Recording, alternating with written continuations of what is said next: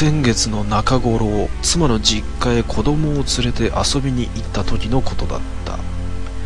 妻の実家へは挨拶程度に2回しか顔を出したことしかなく泊まりがけで行くのは今回が初めてだった。そこは県境にある小さな町でさらに町から少し離れた田園が続くのどかなところだ。妻はお母さんと何やら楽しげに話をしながら夕飯を作っていて子供はお父さんと遊んでいた。私は少し居心地の悪さを覚え散歩でもしてくることにした。妻に散歩をしてくると伝え外に出ると夕焼けが私を橙色に染め上げた。道は人通りが少なくタバコを吸いながらブラブラと散歩をしていると左側の林の中に道が一本あった。その一本道が不思議と気になり私はその道に入った。しばらく行くとお堂のような建物が私の目の前に姿を現した。鳥居が立っていて神社なのかと思った。嫌な感じがし背中におかんが走る。しかしお堂と鳥居以外は何もなく帰ろうとお堂に背を向けた時それは起こった。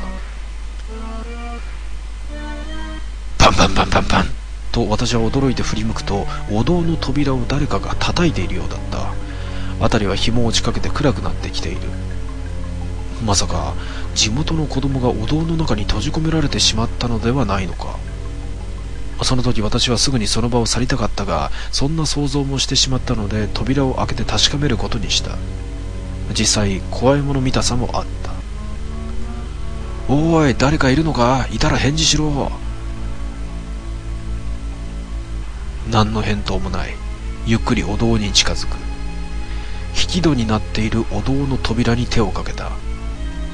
扉を開けたが誰もいない。暗かったが奥にはお地蔵さんが祀ってあった。お地蔵さんはちょっと不気味だったがこれで帰れると安堵した。その瞬間肩に重みを感じ耳元で息遣いが聞こえその後にかすかに聞こえ声。まだ帰るなよ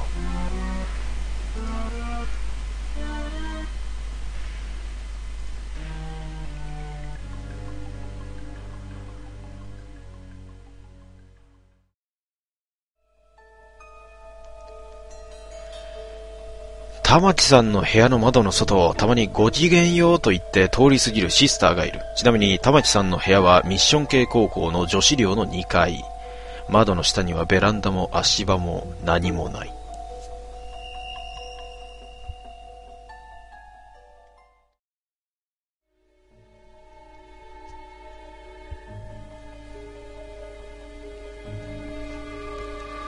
ねえ、市村さん、本日付でパート辞めちゃった。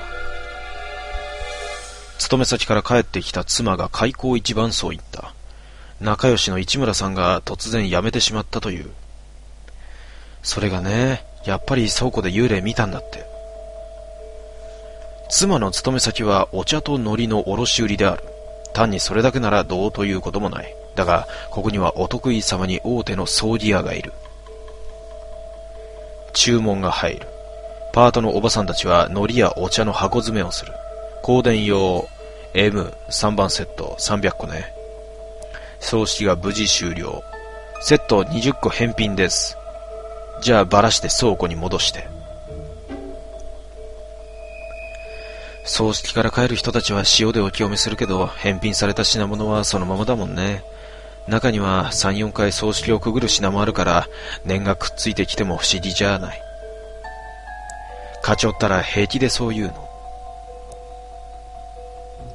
そうして戻された品物は普通に詰め合わされてまた出荷される。ご神仏とかお中元とかお歳暮に、あるいは再び葬式に。突然の不幸ってそれのせいかもね。その勤め先ではパートさんが不意に辞める。うちの妻も同様に辞めた。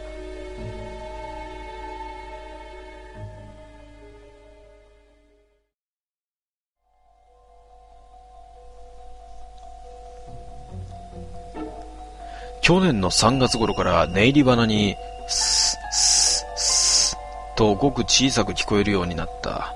家族とは別の部屋で自分一人で寝ているので布団か何かの音だと思い最初は気にも留めなかった毎日少しずつ少しずつはっきりと聞こえるようになるとそれは寝息だと分かった自分が寝ている布団の左側少し離れた辺りからと聞こえてくる姿はないそれは床についてから聞こ聞こえ始め自分がうとうととしてくるとだんだん小さくなって消えるそんなことが毎晩続くようになったゾッとしたりもしたが、ただ聞こえているだけなので何だろうと思ったくらいだった。4月に入って妻の父が具合を悪くして入院をしたと聞いたのだが、かなり離れているのですぐに予定も立たず、5月の下旬に休みを取って行こうと計画した。そう言っていた矢先、仕事の帰りにカーブで車がおかしな動きをした。パンクだ、と思い車を止めてみたがタイヤは何ともない。走り出すとやっぱりおかしい。ハンドルが取られて怖くて乗っていられない。2、3日様子を見たが治らない。車屋へ持っていくと、ショックアブソーバーが2本は折れて、2本はガスが抜けてしまっている。スプリング、スプリングだけで車体を支えている状態です。と言われた。それで変な風に車がとガテンが言った。部品を取り寄せて工賃払って直すより買い替えた方が結局安いですよと言われたが、また車検切れまで半年まであるし、だましだまし乗るつもりで帰ってきた。岐阜のところへ行くつもりがあったからだ。まあ大丈夫と本当に暴れ馬と化した車に乗り続けた。いよいよ岐阜のところへ行くと予定していた10日くらい前に、くれ、くれ、えー、違う、車屋の方から電話が来た。まさかと思うけど、高速に乗ってどこか行くような予定ないですよね。話してないのになぁと思いながら聞いていると、あの状態で高速に乗ることはそれこそ自殺行為ですよと言われた。もしスプリングが折れたらそれこそ、だが妻の実家までは高速を使っても6時間以上かかる。これは家族全員の命が危ないことを知らされているのだと半然と悟った。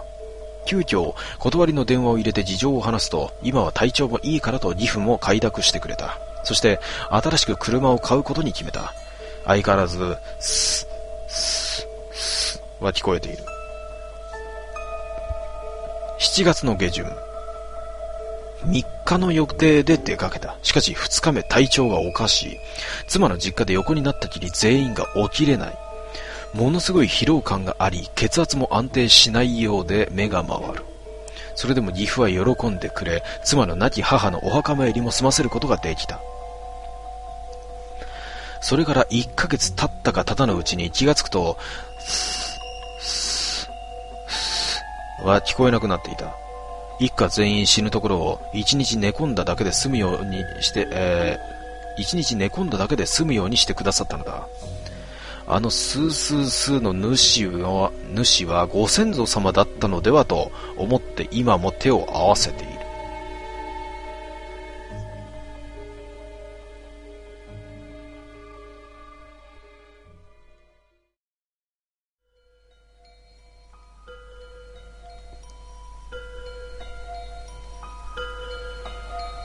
あるところに2階を学生、1階を中年プログラマーが借りている借家があった。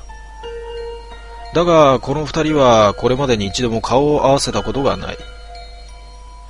先に借りていたのは2階の学生だったが、中年プログラマーが下見に来た時は学生は帰省しており、引っ越しの時もまだ帰っていなかった。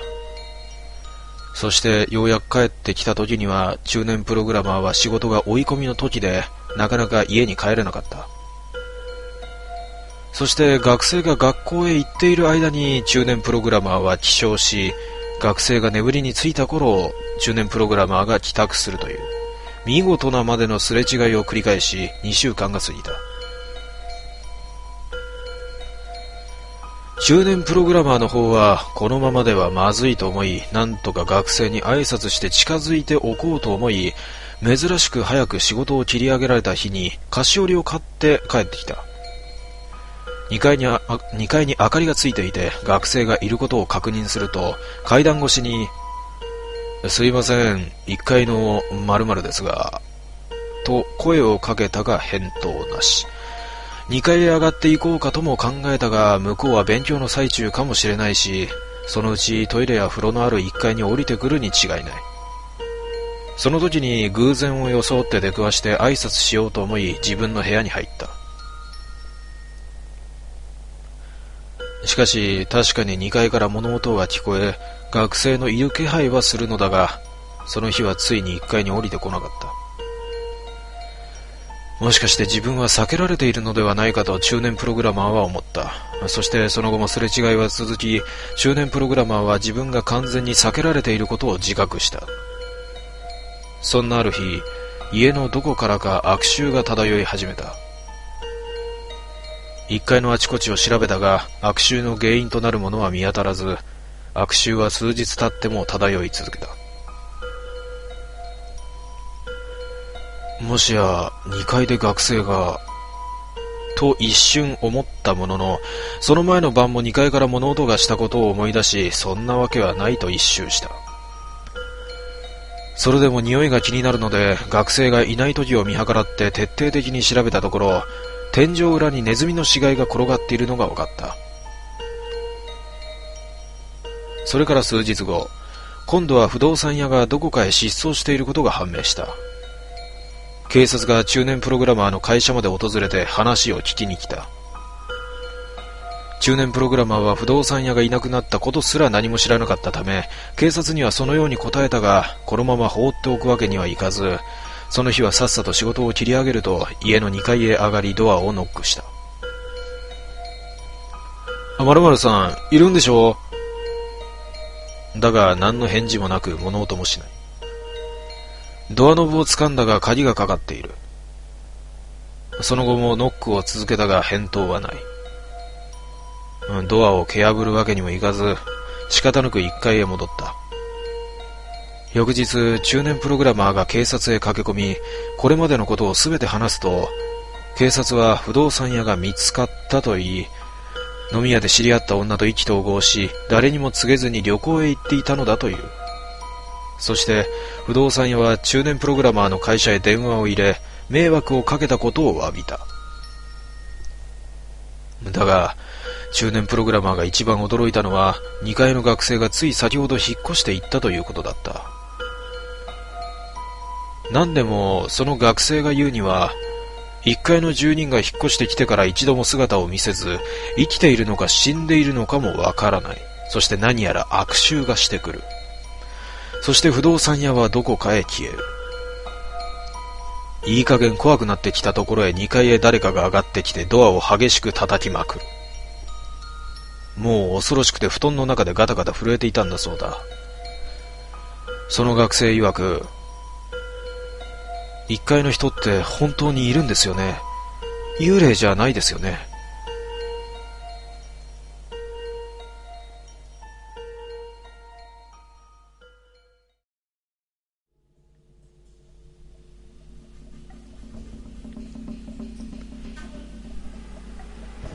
中村さんは女子大生時代、家賃が安いという理由から、いつ崩れてもおかしくないようなボロアパートに住んでいた。この日も中村さんは水商売のバイトを終えると、化粧もろくに落とさず床に着いた。すると、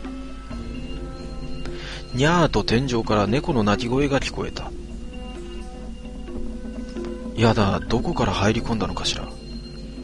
中村さんはその鳴き声で目を覚ますと、水を飲もうと台所へ向かった。ふーとコップの水を飲み干し一息つくと、にゃーんとちょうど自分の頭の上のあたりから甘えるようなな猫の鳴き声が再び聞こえてきた。もううるさいわね。その声に苛立ちを覚えた中村さんは思わず近くに置いてあったほうきで天井をドンとついてしまった。すると次の瞬間ガタン天井の板が何かと一緒に落ちてきた。もう何よ。中村さんはブツブツとぼやきながら板を直そうと明かりをつけた。ん？悲鳴。アパート中に中村さんの悲鳴が響き渡った。どうかしたんですか？その声に隣に住んでいた浪人生が駆けつけた。ま、あれ？中村さんは浪人生を中に入れると板の落ちた流し台を指さした。そこには大量のウジとどす黒く変色した内臓を腹から出した三毛猫の無残な死骸が横たわっていた。三毛じゃないか。浪人生はぽつりとつぶやいた。彼の話ではどうやらこの猫はこの近所を縄張りにしていたミケという猫らしい。死体の状態からおそらく事故にでもあって最後の力を振り絞り天井へ逃れてきたのではないかと浪人生は言っていた。中村さんは浪人生と一緒にミケを埋葬するとすぐにボロアパートを引き払った。今では野生の動物が紛れ込むことのない立派なマンションで暮らしている。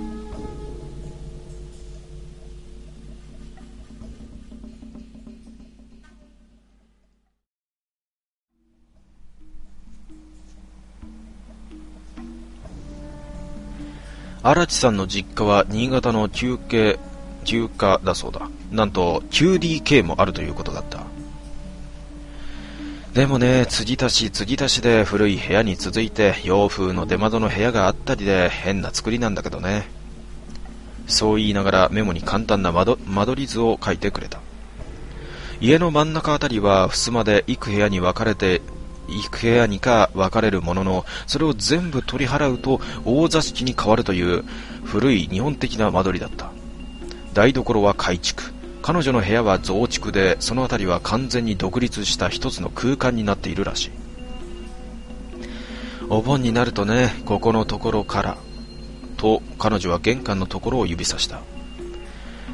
ここを通って、それからこの部屋を通過して、そんでここまで入ってくるの。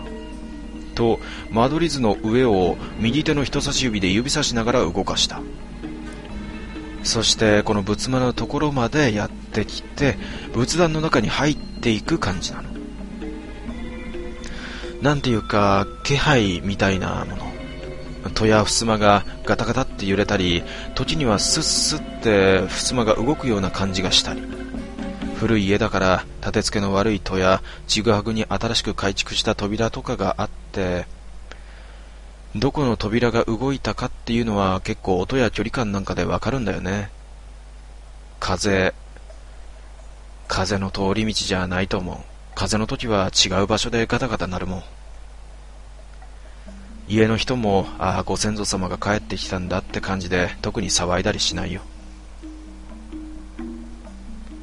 淡々と話す荒木さんだった。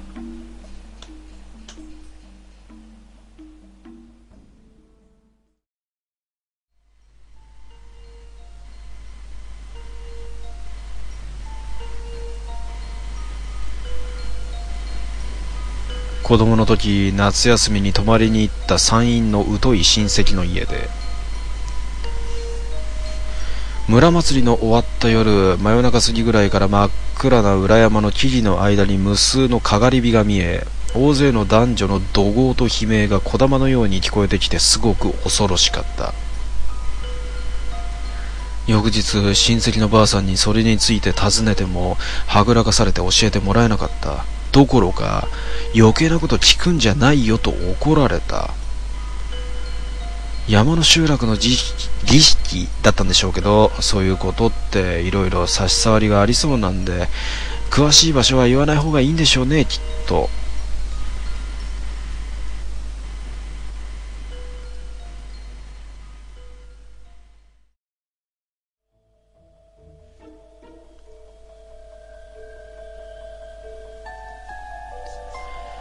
私は自分の前世というものを覚えているようです。これは私がそう思っているだけで何の確証もあるわけではありませんが。しかし、子供の頃から何度も繰り返し見ていた夢の中には、これはもしやと思えるものがあったのは確かです。前の前の私は母方の曽祖父、曽祖父だか、曽祖祖父だかに当たる僧侶だった人のようで、当時住んでいた寺と奥さんだったらしき人の顔を覚えています。私はあまりいい夫ではなかったらしく、当時奥さんだったらしい人はいつも今にも泣き出しそうな暗い顔をしていました。前の私は戦時中、当時の妹と一緒に爆撃で崩れた家の下敷きになり、まだ意識のあるまま生きながら焼け死んだ中学中学年くらいの女の子だったようです。小学中学年になった頃、夢で繰り返し見た、見出したのは、前の前の私の時のことが先立ったように思います。今の自分には覚えがないのに、夢に出てくるところはよく知っている懐かしい場所で。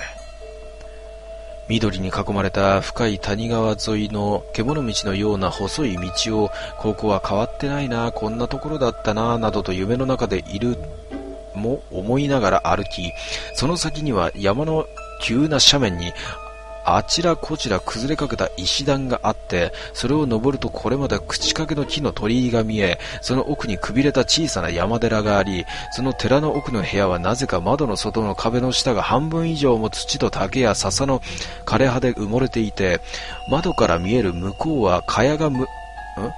アブカが群れをなしていそうな暗い竹やぶで、目が覚めてからあんなところ全然知らないのになんであんな懐かしいんだろうなどと思い、そのうち自分は知らないのによく知っているところ、人、出来事をよく夢で見るようになり、今の自分にも何か関係があるようにも思え、それが自分の前世とかいうものではないかとも考え出し、それが何であるのか自分なりに分かったのが中学2年の時で、近所に同じ学年の転校生が引っ越してきて、私はその子と仲良くなり、家がすぐ近くだったので、毎朝一緒に通学するようになり、ある日学校から帰ってからその子の家に遊びに行くといつも声だけ、いつも声だけしか聞けなかったその子のお母さんが玄関先に出ていらっしゃり、仲良くしてくれてありがとうと私に言う友人のお母さんは、あの夢の中に出てくるいつも泣きそうな顔をしている自分の奥さんそのままの顔でした。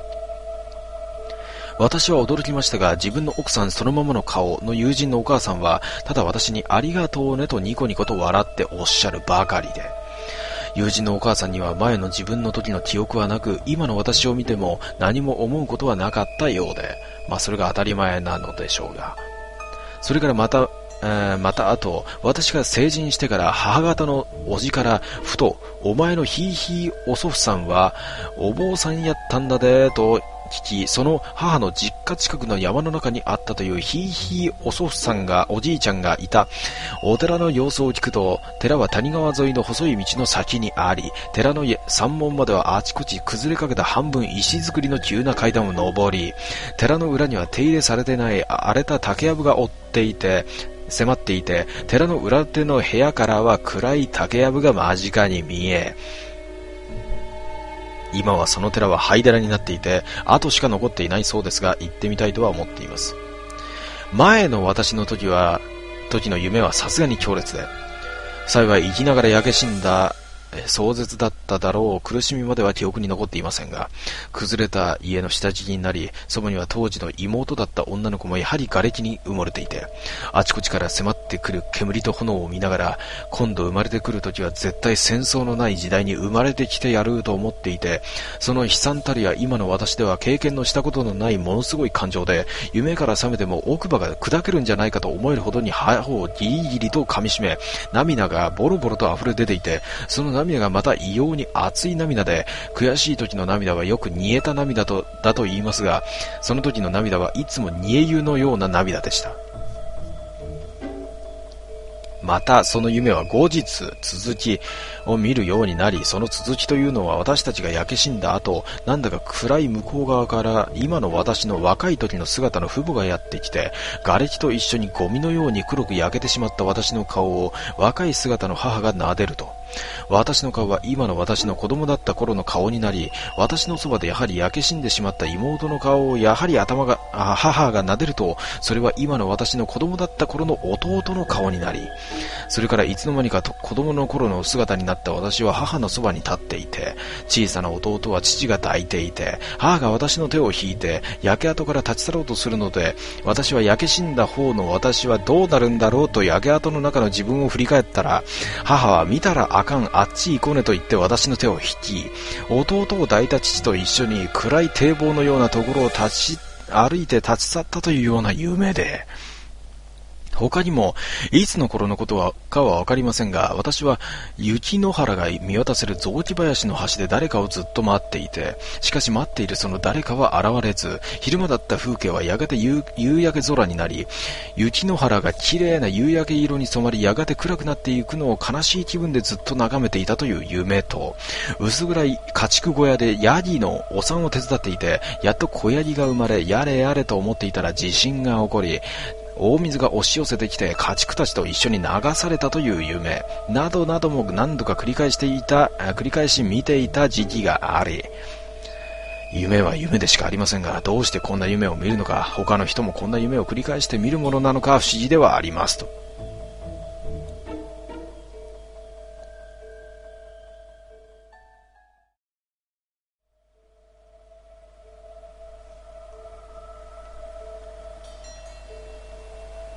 私の職場の吉田先輩はある夏の夜、T 川の川辺で釣りをしていた。辺りには自分以外に人はおらず、実に静かな夜だった。ただ、その日は竿を下ろして3時間以上経つのに収穫ゼロで先輩はだいぶイラついていた。3箱目のタバコの封を開けた時、川の下流、先輩側から見て、右手の方から何やら掛け声のようなものが聞こえてきた。耳を澄ますと、それは男の声で、えんやーとっとえんやーとっとと言っているのが分かった。やがて声の主が川の水面上に姿を現した。周りは川向こうのネオンで照らされて結構明るかったので、先輩はそれをよく見ることができた。声の主は渡し船に乗っている白い浴衣を着た老人だった。老人は戦場で進行方向を向いて正座をし例の「エンヤートットエンヤートット」という掛け声を繰り返していた。老人は大きな目をしていて頭に毛がない代わりに顎に白く長いひげを生やしていた。老人は牢に行ってもおらず、また船にはモーターのような動力もついていない。それなのに、船はかなりの速さで先輩の前を下流から上流へと進んでいった。先輩はしばらくあっけに取られていた。今、目の前を通り過ぎていったのは一体何だったのか。考えれば考えるほど頭が混乱してきた。船が視界から消えると仕掛けていた竿がしなり、先端の鈴が鳴ったので、とりあえず魚を釣り上げようとした。すると、えんやーとっと、えんやーとっととまた掛け声が下流から聞こえてきた。そして、やはり先ほどの正座をした老人を乗せた渡し船が川を登っていった。結局、船はわずかな時間の間に先輩の前を繰り返し計6回、下流から上流へ登っていった。先輩は最後の方はその船に対して怖さや不思議さよりも怒りがこみ上げてきたという。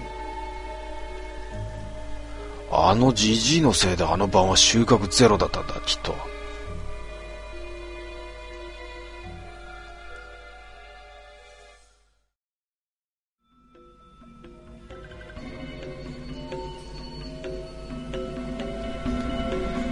その日自宅のお風呂に使ってくつろいでいると背中側の壁の中から携帯電話のバイブレーターの音が聞こえた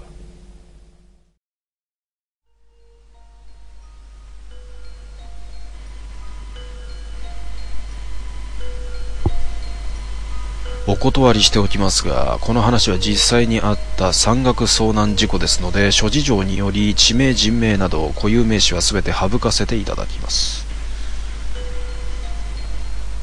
文化の日と週末の3連休を利用して前夜初日帰りの山参考に出かけました。山行き。いい参考で天候は安定していて当分秋晴れが続きそうでちょうどその地方の低山は紅葉が紅葉が見頃になる時期でなんとも華麗な展望です。展望です。手軽な山でしたから親子連れも随分いました。ところが昼過ぎになって道を間違えたことに気がつきました。慌てて地図を読みながら元来たところに帰ろうとしたのですがどういうわけかどうしても尾根筋に戻れません。そうこうしているうちに日が暮れてきます。その日のうちに下山するのはすっぱり諦め風の当たらない場所でビバークの支度を整えて夜をしのぐことにしました。レスキューシートと細引き縄で四つ湯酒に簡単な天幕を張りありったけの防寒具を着込んで寝るともなくうつらうつらしていました。夜半はっと目を覚ましました。子供の声がします。半泣きで親を探している様子で親子連れでハイキングに来てはぐれたのかな。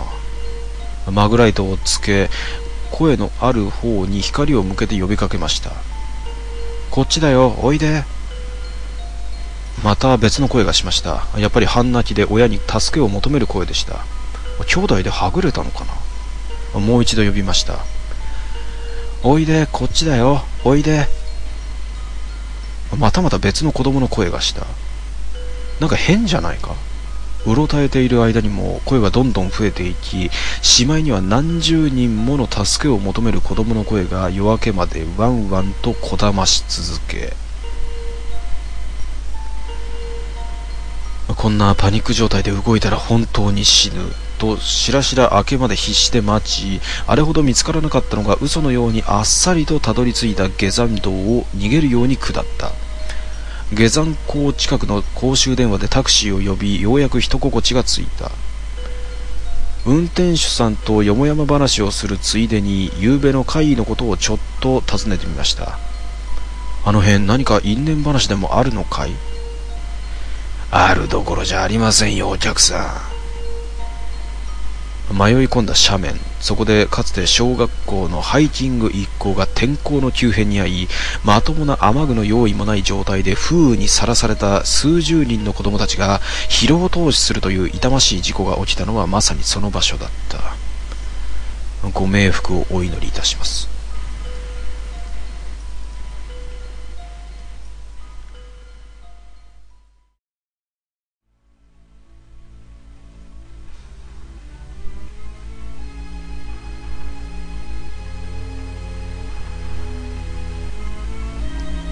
この夏の話。知り合った女を一人暮らしの部屋に持ち帰ったまでは良かった。がどうやら精神的に病んでるご様子。その子は病院から処方された薬を飲んだ後ろれつの回らない口調で私は21じゃなくて本当は17なの。中国で生まれ死んだ姉の代わりに育てられた。だから名前も姉のものを継がされてる。中国ではストリートチルドレンをしていた。シャバより病院生活の方が長い。巫女だ。芸者だと。わけのわからない話を永遠しだした。平静を装いつつも怖いよとガクブルってる俺にこの部屋前にカップルが同棲してたんちゃいます？とその子は言った。確かにそう。引っ越してしばらく名字の違う男女宛ての郵便物がたびたび届いてた。わざと「えっ?」と聞き返すと「心中してはりますわ」巫女の話題の後からずっと京都弁。だと。その子曰く心中はこの部屋ではしていないらしい。その後も出会って数時間ではわからないような俺の身内に関することを言い当てた。俺の恐怖はマックスに達しようとしていた。しかし追い打ちをかけるようにその子は隣の部屋出るでと断言した。なぜ知ってる？俺がこの部屋に来て1年目で4回入居者が変わった。その後丸1年ずっと空き部屋のまま。気持ち悪いのが4組目が出た後すぐに老夫婦の会話が早朝聞こえていた。俺は引っ越してきた雰囲気もなかったので多少驚きつつも今度は朝の早いじじばばが越してきたがややなと思っていた。だがその声はたった一回のみ生活音もなければ引っ越していった物音もなし。その子は隣には若い女が体育座りで頭を抱えたまま呼んでいる。自分の存在に気づいてくれる人をと続けた。1年ほど前までいた彼女はおばあさんが霊能者で本人も多少ながら霊感ありその彼女がしょっちゅう俺の部屋と隣の部屋を間違えて立ち止まる。そのことを話してみると彼女が間違いようのない隣の部屋で思わず立ち止まってしまうのは呼ばれてる念に引き寄せられてるだけのことと説明した。病んでるだけなら相手にしないが尻滅裂な話の節々が符合していたり身の回りのことを言い当てたり。もちろん性欲なんて湧くわけもなし。偉い女捕まえてもうたと後悔しつつその子を寝かせることにした。俺はパジャマ代わりに T シャツを渡した。で驚いて声を失った。着替えたその子の両腕にびっしりと縫合した跡が。翌日彼女を送り届けることなく帰っていただいた。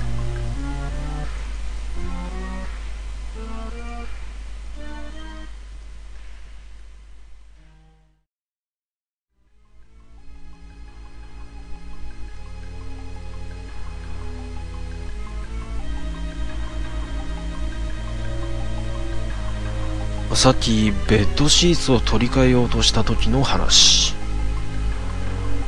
ベッドの上で跳ねではしゃいでいる息子2歳が邪魔だったのでちょっとどいてとベッドから下ろしたら息子は隣の部屋に走り込みました。そこでこの世の終わりと言わんばかりの勢いで泣き出した転びでもしたんだろうと見に行くときちんと立って泣いているじゃあベッドの上から降ろされたのが悔しくて泣いているのだなと思い分かったよと抱き上げて寝室に連れ戻りベッド中央に下ろした。息子は振り返った途端ホラー映画ばりにギャーという大きな悲鳴を上げて窓側の天井を指さし何度も悲鳴を上げた。私もとっさにそのとっさにその方向を見た。何もない。なのに息子は指差し悲鳴を上げ続ける。ぞっとして私は息子を抱き寄せた。その方向からかばうように息子を抱きしめると息子の悲鳴は止まった。が涙いっぱいの目で天井の方を凝視している。1分にも満たないような出来事なのに息子の額は汗でびっしょり。どうしたの？何かあるの？と聞くと息子はその方向を見つめたままいないいないとつぶやいた。母親的通訳をすると今この息子はいなくなってほしいと言っている。何にだ？何にいないいないなの？悪い人いるの？と聞いてもその方向を見つめて黙っている。私が動こうとすると息子は動くなとでも言うように私をつかみ体を密着させて離れようとしない。なので息子を抱きかかえて引っ張るようにベッドから下ろそうとすると息子は凝視を続けたままその方向に少しでも近づくまいとするように壁に張り付くように身をよじった。息子を下ろすと息子はまだ隣の部屋に駆け込んでいった。何があったわけでもないのにすごく怖いんですが旦那は別居中でうちには私と息子二人っきりだし寝室が恐ろしくて寝そびれました。息子は今島次郎ビデオを見てます。でももう眠そうと言っている間に私の膝で寝ちゃいました。ああ。私の妹の息子3歳はベッドの壁側で寝るのを嫌がるので妹が訳を尋ねたところだってねあそこにね誰かねんねしてるねってその話を聞いておお怖えって妹をからかってたのだけどうちにもどなたかご在宅なのでしょうか？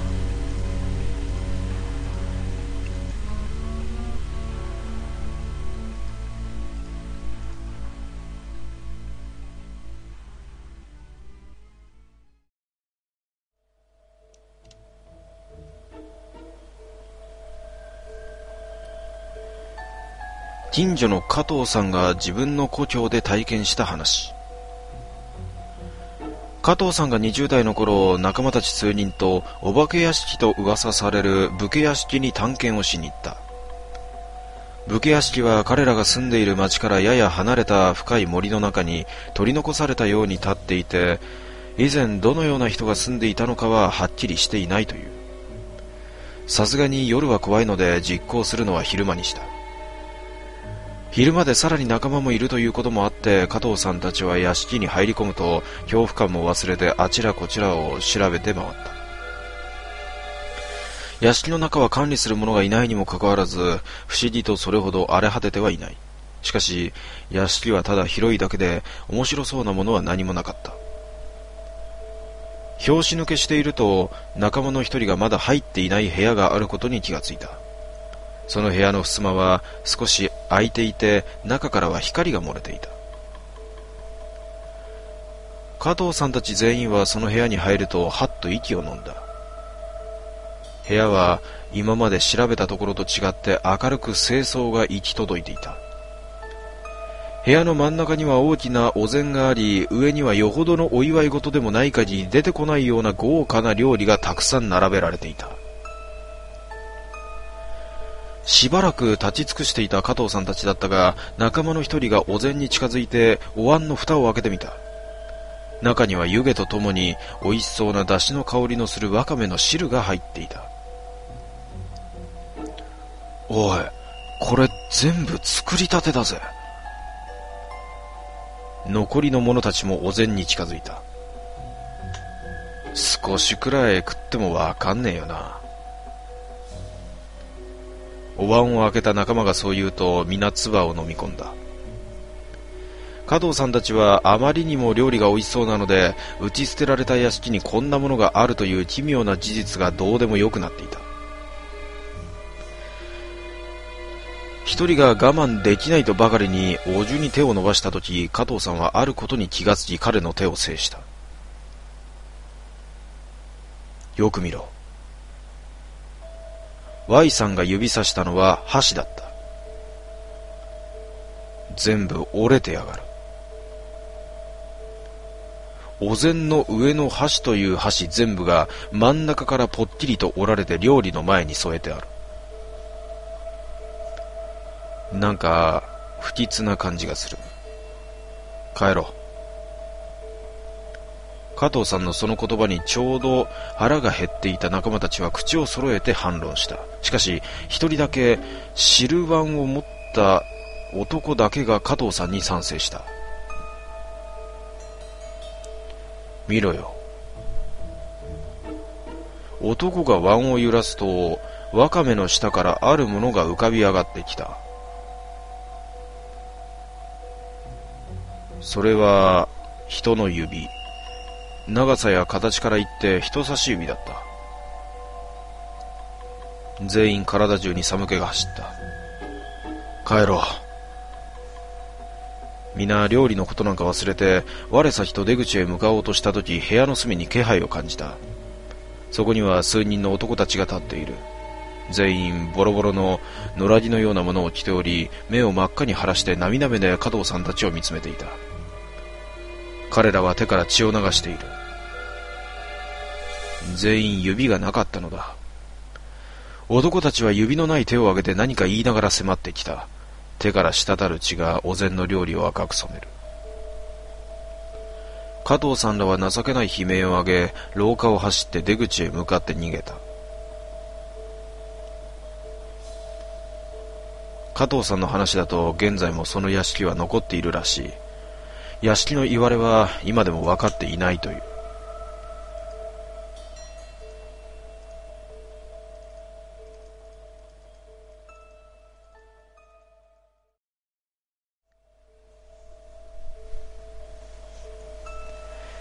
私がまだ小学生だった頃の体験である。ある年の春の彼岸に母と祖母に連れられて大阪のん？古刹として有名な四天王寺にお参りに出かけた。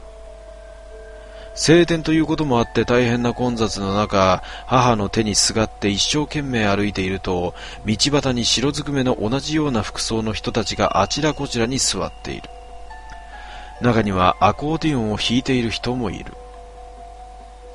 幼い私はもちろん、小尉軍人という存在を知らない。不思議に思って母に聞いてみると、あの人たちはね、昔の戦争で大怪我をした軍人さんなの。ああいう白い服で自分は怪我でこんな体になりましたって通行人に教えているのよと教えてくれた。ふーん、軍人さんかと思っているうちに広い立教に差し掛かった。立教の上にも何人かの少尉軍人がいる。そこで不思議な人が目に留まった。道に座っている少尉軍人の背後に軍帽をかぶり軍服を着た軍人がこちらに背を向けて敬礼の姿勢で立っている。実はこの時の彼が着用していた軍服の色など全身の様子は全く覚えていない。ただ、敬礼をしている右手の白手袋が陽光に眩しく輝いたのと、まっすぐに伸びた背中ははっきりと記憶している。どうしてあの人だけ白い服を着ずにあちらを向いているんだろう。と私は不思議に思った。歩きながら背中をじっと見つめてもその軍人は微動だにしない。私はどうしても気になってその二人の前を通り過ぎてしばらく歩いてから振り返ってみた。しかし先ほどの場所には一人が座っているだけで背後には誰もいない。何度も何度も振り返ったが軍服を着た人は周囲の人混みのどこにも見えなかった。今でも彼岸の季節になるとあの敬礼をしていた後ろ姿を思い出す。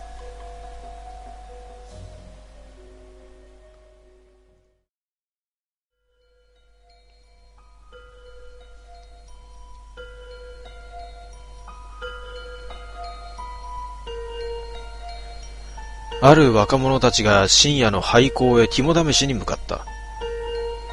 ところが、いざ現場に着いてみると、そのあまりにも不気味な雰囲気に圧倒されてみんなおじけづいてしまう。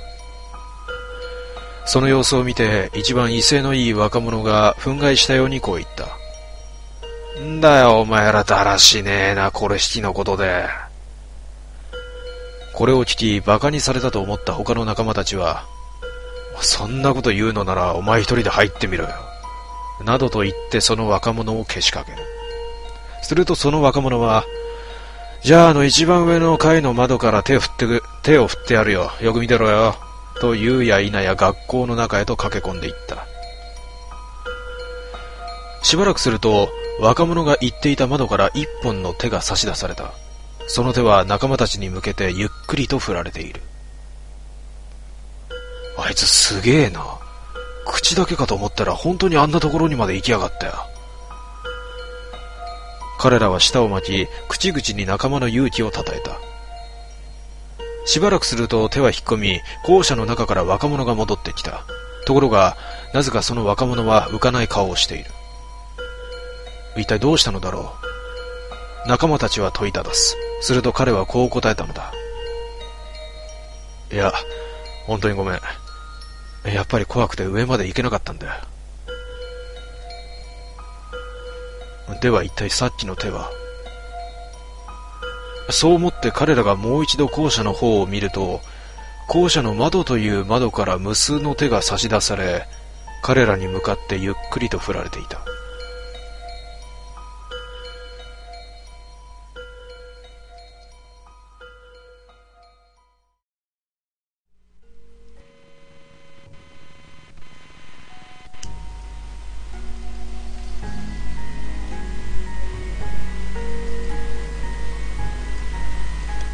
とある南からの下山中長い林道をとぼとぼ歩いていると下から上がってくる親子が向こうに見えた。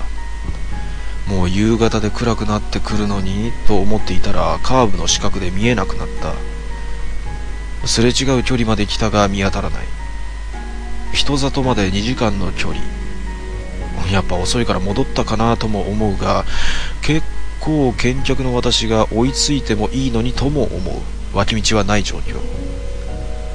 不思議に思って歩いていると頭上で枝の折れる音が。山側の斜面を見上げるとかなり上の大木にその親子が枝に腰掛けて無言で遠くを見ていた。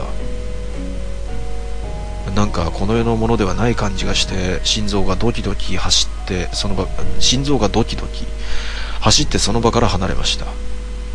まあ物理的には可能だけど不自然な体験でした。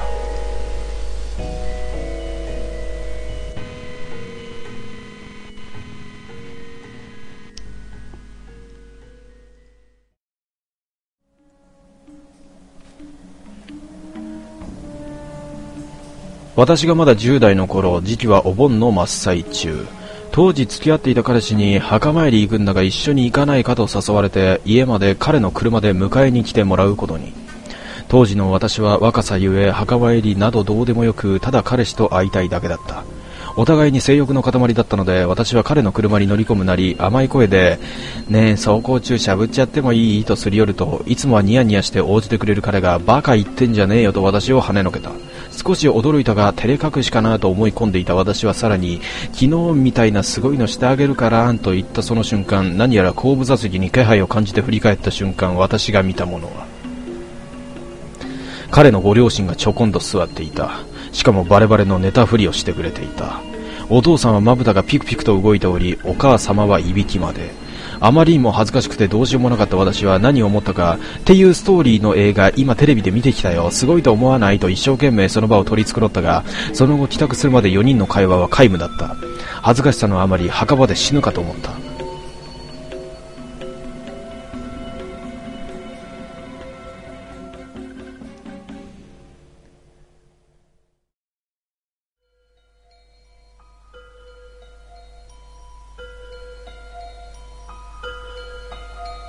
ある女性が気味の悪い無言電話に悩まされていました。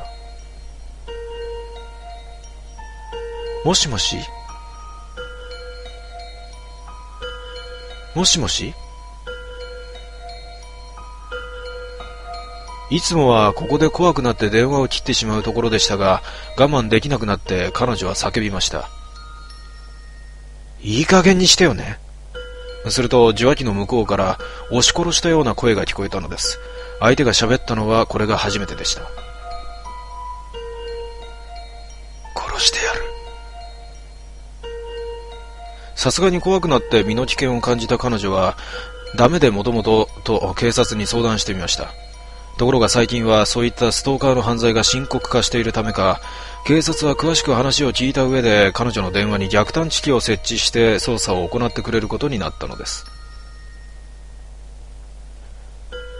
次の日もやはり無言電話はかかってきました。慎重に受話器を取り上げ耳に押し当てる女性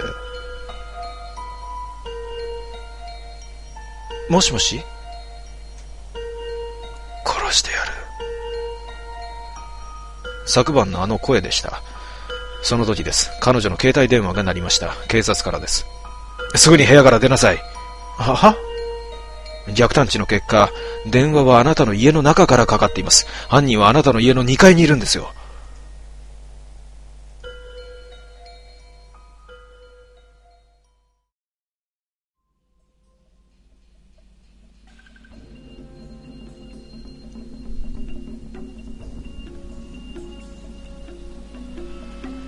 根津さんは山師だった。杉、ヒノキ、なんとか、赤松、なんとか、読めねえ。建築用材木の伐採業者のことだが、やることが少々荒い。地主から立ち木を丸ごと一山全部買う。そこにある聖木という聖木を片っ端から切り倒して売る。台形の無節材が取れる名器に一本でも当たれば23年は遊んで暮らせた。今から数十年前の話だという。もうそんな時代は終わってしもたけどな。あの頃はほんまに景気も良かった。完全にギャンブルである。動かす金額が半端でない。一度山を外せば即座に膨大な負債を背負い込む羽目になる。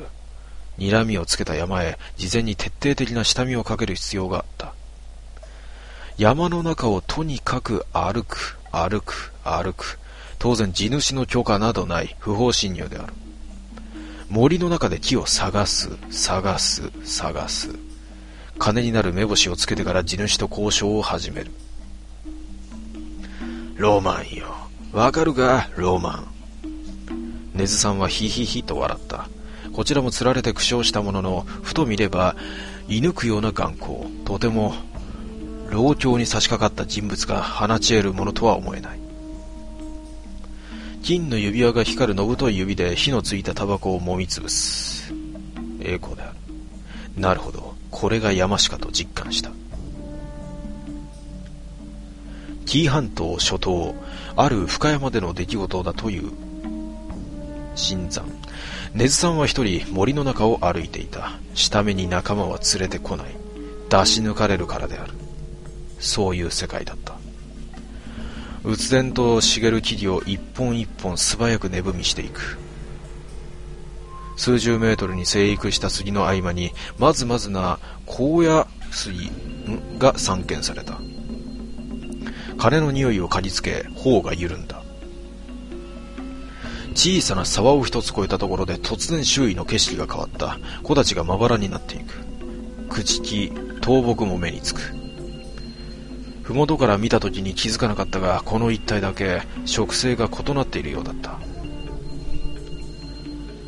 杉はな常緑樹よ。一年中葉がついとる。その反対が落葉樹。わかるか？つまり灰色の森。葉を落とした古木の宙をかじむしるように伸びた枝。色をなくした樹皮は岩肌の様相である。足元に広がる枯葉の海。サクサク踏みしめる足音だけが小鳥の姿もない静寂の中に響く。すでに木々は点在するのみとするのみとなって寒々しい空間が目立ち始めた。薄曇りの冬空がその圧迫感を増してくる。なんでだろうな。別に珍しい風景やないのにどうにも居心地悪くてたまらんかった。唐突な植生の変化に戸惑ったのかもしれない。日が暮れるまでにはもう少し峰の方も調べておきたかった。根津さんは山頂を目指し歩き出す。その時一匹の蛇が目に入った。マムシだった。マムシ見たことあるか？長さは二尺少々落ち葉の上でちょうど飯食うた猫が毛づくろいするみたいにな。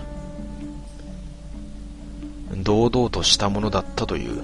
人の姿を見てもおじけづく様子がない。マムシはどぶとく短い蛇である。だがこの個体は妙に頭が大きい。頭頂部が左右にせり出し異様なまでの逆三角形を形作っている。しばらく眺めているとその蛇は奇形じみた頭部を左右に振りながらパックリと口を開いて「稲や」喋った幼女のような声根津さんは思わずうなる。なんだこれは。聞き間違いかと思い周囲を見回した。荒涼とした景色の中他に生き物の姿はない。詐欺の1羽もいない。再びまじまじと観察をする。マムシはゆっくり顎を動かし赤黒い舌を覗かせながら「いねや」と言って聞かせるように繰り返した。根津さんはそのままおとなしく山を降りた。恐ろしくはなかったが縁起が悪いと感じたからである。その山の木を買うのもやめた。稲や。だったんやと思う。標準語で言うたら帰れ。シャーと息を吐く音ではなく高音ではあるが明瞭な声。40年山に登った中で不思議な出来事といえばそれだけだったという。妙なマムシやウサギか何か飲んでたのかもわからん。気味の悪い太鼓腹やったな。山氏は私を寝踏みするような目で見ながらヒヒヒと笑った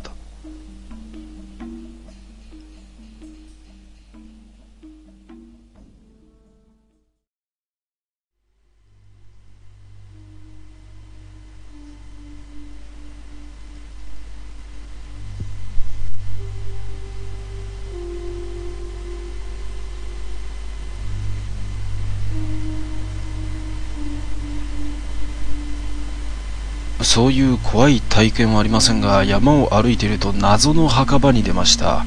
祖母の家の近所の山なんだけど聞いてもそんな墓場はないという返事。思い返してもなんとなく妙な雰囲気の場所だったんだよな。どこが妙とは言えないんだが。探しましたがやっぱり二度と行けませんでした。子供の時の二度と行けない公園とかはガキの勘違いだと思ってたんですが今回はつい最近のことなんでハテナですね。